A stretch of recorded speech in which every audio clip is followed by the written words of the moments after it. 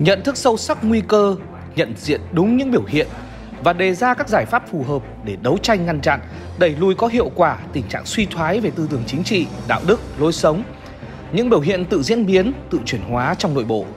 Kiên quyết kiên trì thực hiện, làm thực chất và kịp thời khắc phục những hạn chế đối với công tác xây dựng Đảng, rèn luyện đội ngũ cán bộ, đảng viên hiện nay.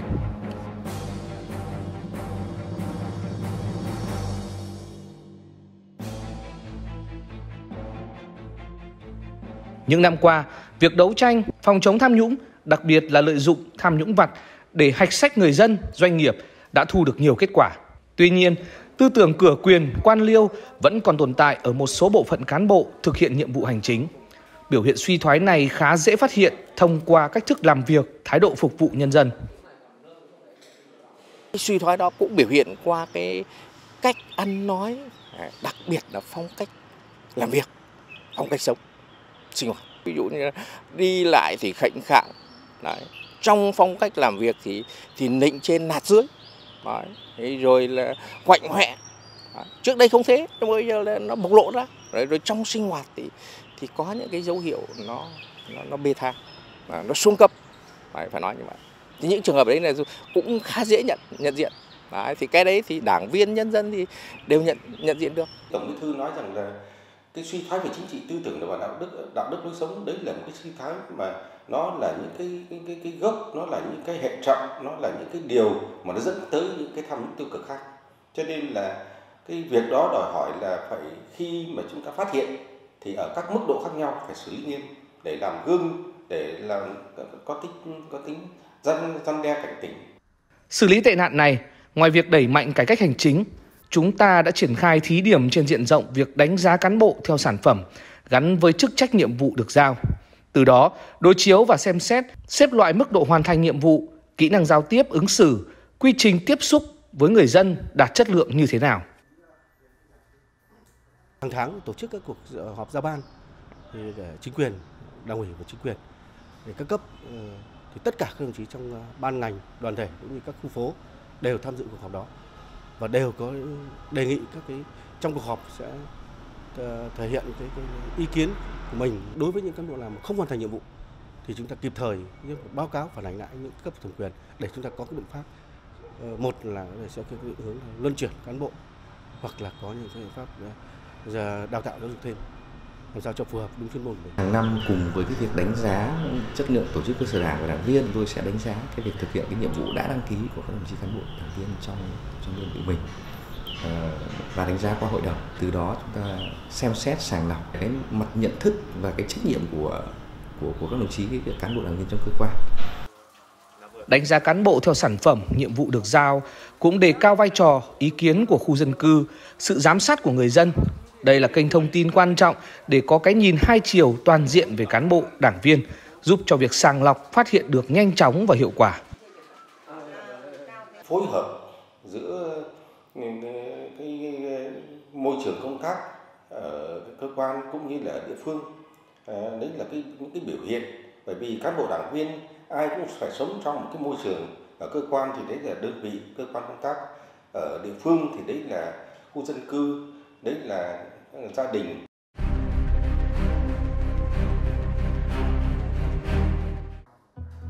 Kiểm soát quyền lực và chống nguy cơ quyền lực tuyệt đối luôn là vấn đề được Đảng ta quan tâm, đặc biệt trong bối cảnh chúng ta đang thực hiện nhất thể hóa, kiêm nhiệm một số chức danh lãnh đạo chủ chốt, quyền lực sẽ tập trung vào một người. Có những cá nhân với vai trò là một cán bộ, công chức bình thường thể hiện tốt vai trò của mình, thế nhưng khi có quyền lực trong tay lại thay đổi về bản chất để phòng ngừa sự tha hóa này, ngay từ Hội nghị Trung ương 9 khóa 10, Đảng ta đã nghiên cứu, ban hành chủ trương thực hiện chế độ tập sự đối với cán bộ là lãnh đạo, quản lý trước khi bổ nhiệm. Hình thức này đã được triển khai tại Bộ Ngoại giao, sau đó đem ra thí điểm ở một số cơ quan đơn vị, địa phương cho thấy hiệu quả tích cực. Đã là cái cán bộ lãnh đạo quản lý tức là anh phải đảm nhận những cái cương vị lập tức ra quyết định, lập tức phải điều hành một tổ chức Đấy. thành ra không cho phép cái, cái người lãnh đạo quản lý là, là bổ nhiệm xong rồi mới đi học việc. Như thế rất là tổn thất rất có hại cái tổ chức. Đấy. mà phải đòi hỏi khi anh đã bổ nhiệm vào là cương vị lãnh đạo là anh phải thành thạo công việc rồi. Đấy là yêu cầu. Cái hình thức tập sự thì bản chất ừ, mà nói đấy thì đấy, đấy chính là cái tin tưởng giao việc để thử thách qua công việc. Mà cái tin tưởng giao việc và thử thách qua công việc thì chúng ta cũng đã làm ở nhiều hình thức khác nhau. Ờ, nhưng mà rõ ràng cái quan trọng nhất chính là cán bộ người ta biểu hiện các cái cái cái phẩm chất năng lực của họ thông qua cái hoạt động thực tiễn thì cái việc giao việc tập sự cũng là rất quan trọng Thực tế cho thấy khi nắm quyền lực càng cao, cán bộ càng dễ tha hóa nhanh chóng. Nhìn lại sai phạm của ông Nguyễn Xuân Anh, nguyên bí thư Thành ủy Đà Nẵng nhiệm kỳ 2015-2020, một trong hai bí thư tỉnh, thành phố trực thuộc Trung ương trẻ nhất lúc bấy giờ. Chỉ trong 2 năm lên nắm quyền lực, vào tháng 9 năm 2017, Ủy ban Kiểm tra Trung ương đã đưa ra kết luận về những sai phạm của Nguyễn Xuân Anh, trong đó có việc vi phạm nguyên tắc tập trung dân chủ và các quy định của Đảng, Nhà nước về công tác cán bộ, chủ trì xem xét, quyết định một số nhân sự có biểu hiện áp đặt, trực tiếp chỉ đạo nhiều công việc cụ thể của chính quyền.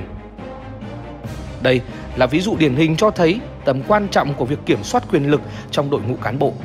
Việc nhân rộng mô hình tập sự trước khi bổ nhiệm là giải pháp phần nào giúp chúng ta nhìn nhận, đánh giá lại cán bộ khi ngồi vào ghế lãnh đạo quản lý. Đây sẽ là khoảng thời gian thử thách trước khi giao toàn quyền vào vị trí quan trọng kịp thời phát hiện, nhận diện sự thay đổi tích cực hay tiêu cực của cán bộ khi nắm quyền lực trong tay. Đấy là một cái chủ trương rất đúng, rất cần thiết. Đấy. Tuy nhiên là chúng ta triển khai là hơi chậm. Thì tôi nghĩ là là một chủ trương đúng. Cần phải tiếp tục nghiên cứu triển khai. Mà nếu làm được cái này thì rất tốt. Để cho cán bộ có một cái điều kiện rèn luyện khi được bổ nhiệm thì một là chúng ta đã kiểm tra giám sát kỹ về phẩm chất năng lực Đấy, qua cái thời điểm tập sự đấy giao nhiệm vụ giao quyền hạn đấy nếu như anh có cái gọi là, là anh có tính cơ hội đấy. đấy khi mà như tôi vừa nói đấy có những người bình thường chưa bổ nhiệm thì rất là khiêm tốn nhưng bổ nhiệm cái trở thành người khác ngay đấy. thế thì khi chúng ta tập sự như vậy chúng tôi cũng phát hiện là được những cái người có tính cơ hội và cái thứ hai đặc biệt là giúp rèn luyện cán bộ lãnh đạo quản lý. Đấy. có sẵn đủ các phẩm chất năng lực kinh nghiệm vào việc điều hành à đỡ lãng phí. Như thế thì chúng ta sẽ có lợi cho dân cho nước cho đảng. Sau khi mà thí điểm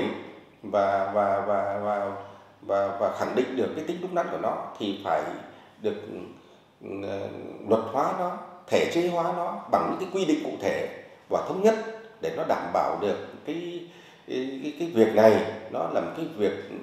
Ờ, có thể nói rằng là nó có những cái quy quy chế chế tài đầy đủ để đảm bảo cho cái việc ấy thành công. Ờ, nó còn cả một cái hệ thống đồng bộ tất cả những cái quy định về chế độ chính sách về quyền lợi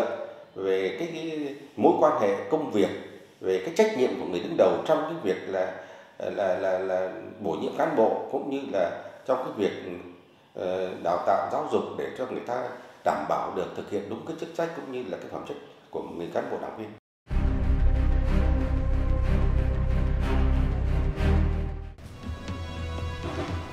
Suy giảm ý chí, đạo đức cách mạng, tư tưởng chính trị, chi phối bởi vật chất là biểu hiện suy thoái mà chúng ta khó có thể phòng ngừa thông qua việc đánh giá, sàng lọc trước khi bổ nhiệm, giao nhiệm vụ. Vì hành vi này có tính thời điểm, dưới tác động của lợi ích kinh tế, lợi ích nhóm. Điển hình như vừa qua, Cơ quan An ninh Điều tra Bộ Công an đã đưa ra quyết định khởi tố vụ án nhận hối lộ để xét duyệt cấp phép cho các công ty thực hiện chuyến bay đưa công dân Việt Nam từ nước ngoài về nước nhằm trục lợi cá nhân xảy ra tại Cục lãnh sự Bộ Ngoại giao. Bắt tạm giam 4 cán bộ là lãnh đạo cục,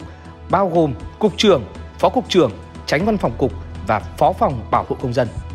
Hay đầu tháng 3 năm 2022, cơ quan điều tra hình sự Bộ Quốc phòng khởi tố vụ án, khởi tố bị can, bắt tạm giam thượng tá Hồ Anh Sơn, phó giám đốc Viện Nghiên cứu Y Dược học Quân sự, Học viện Quân y về tội tham mô tài sản và lợi dụng chức vụ quyền hạn trong khi thi hành công vụ.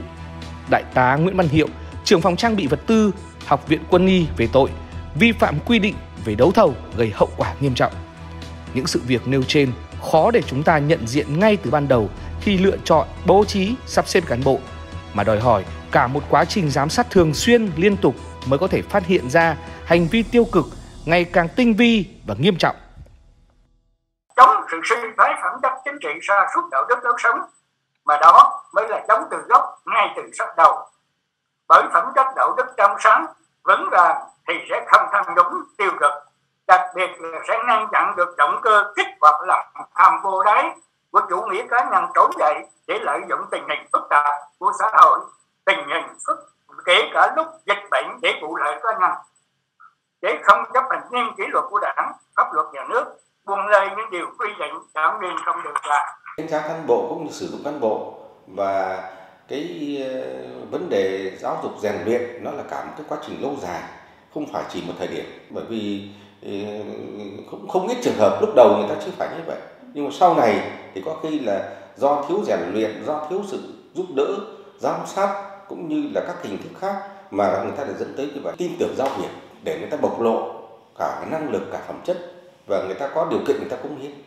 Nhưng mà đấy không phải là tất cả mà đấy là mới chỉ là ban đầu còn quá trình ấy nó lại còn phải là cái quá trình liên tục à, trong suốt cả cái cái cái cái cái, cái quá trình mà cán bộ đảng viên người ta ờ, khi được giao trách nhiệm người ta thực hiện cái trách nhiệm ấy phát huy vai trò của dư luận xã hội để giám sát các hoạt động của cán bộ đảng viên sẽ là cơ chế để cán bộ đảng viên chỉ có thể làm những việc vì lợi ích chung của cộng đồng, hạn chế những hành vi tiêu cực trong thực hiện nhiệm vụ. Cấp ủy, tổ chức đảng khi phát hiện thấy cán bộ đảng viên có biểu hiện suy thoái phải tiến hành kiểm tra, xác minh làm rõ. Kiên quyết khắc phục bệnh hình thức, chỉ kiểm điểm rồi rút kinh nghiệm hoặc xử lý nội bộ. Giám sát của của nhân dân là quan trọng và cái kiểm tra của tổ chức. Và phải qua cái kiểm tra giám sát đó thì chúng ta phải kiểm tra được cái việc thực hiện các cái quy định của đảng đối với cán bộ công chức. Ví dụ như là à, chúng ta phải kiểm tra giám sát trong cái việc mà kê khai tài sản xem có đúng không? Đó. Đấy. Thế thì cái suy thoái của cán bộ về mặt phẩm chất đạo đức, cái tham nhũng đó, nó nó sẽ dẫn đến cái chuyện là gia tăng tài sản, giàu nên nhanh chóng bất thường. Đấy. Thế thì trong trường hợp gia tăng tài sản như vậy anh có kê khai không?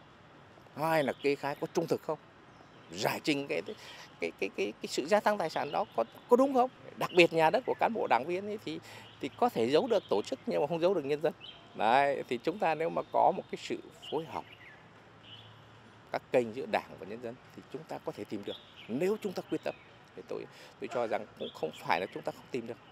mà chúng ta hoàn toàn có thể xác định được những cái trường hợp cán bộ thoái hóa, biến chất, tiêu cực mà ẩn mình rất khéo. Các tổ chức đảng phải lấy việc tự phê bình, tự kiểm tra, tự soi, tự sửa, tự rèn, làm tiêu vụ số một của đội ngũ cán bộ làm công tác đấu tranh phòng chống tham nhũng. Tiêu cực hiện nay cần có biện pháp thật quyết liệt chống sự suy thoái phẩm chất chính trị, tư tưởng đạo đức lối sống ngay trong nội bộ cơ quan của đảng phương tiện coi đây là cái gốc để xây dựng cơ chế kiểm soát quyền lực trong các cơ quan phát hiện kịp thời những biểu hiện vụ lợi hành vi lạm dụng quyền hạn thái độ lộng hành và lợi dụng những lúc có tình hình diễn biến phức tạp để không nghiêm chức ngâm nghiêm túc chấp hành các quy định của đảng và pháp luật của nhà nước trong thực thi công vụ. Trước tác động chủ quan của cơ chế thị trường, lợi ích kinh tế thì việc giáo dục cán bộ một cách thường xuyên liên tục cũng cần phải làm nghiêm túc. Qua đó giúp cán bộ nâng cao tính cảnh tỉnh, tự răn đe đối với bản thân. Trên thực tế thì các văn bản chúng ta ban hành rất nhiều, nhưng mà cái việc mà tuyên truyền giáo dục để người ta nhận thức rõ cái nguy hại cũng như là các cái vấn đề được làm và không được làm thì cũng không phải ai cũng thuộc cả, ai cũng hiểu cả. Cho nên là có những trường hợp thì có khi là người ta vô tình hoặc là có những cái việc mà người ta nhận thức nó chưa đầy đủ và cũng từ thấp đến cao và từ đó nó chuyển thành cái là cái suy thoái về tư tưởng, chính trị, đạo đức lối sống cũng như là dẫn tới cái tiêu cực và tham nhũng đạo đức cách mạng không phải trên trời xa xuống. Nó do đấu tranh, rèn luyện bền bỉ hàng ngày mà phát triển và củng cố. Cũng như ngọc càng mai càng sáng, vàng càng luyện càng trong, nhận diện đúng những biểu hiện suy thoái, tạo cơ sở cho mỗi cán bộ, đảng viên suy ngẫm và hành động. Tự soi, tự sửa, tự phê bình và phê bình. Kiểm điểm đánh giá cá nhân, góp ý cho người khác và xử lý nghiêm, không có vùng cấm đối với cán bộ, đảng viên vi phạm.